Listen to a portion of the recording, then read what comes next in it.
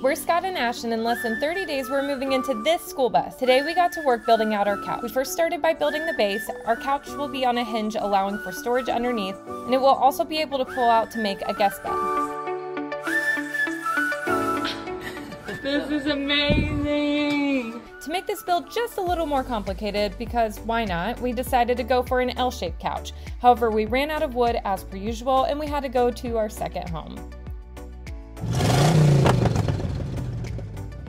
Once we got back, we carried on cutting all the slats, and voila, here's our couch so far. Next is to make the cushions for it. Any guesses what color our cushions will be? Subscribe and follow along to find out.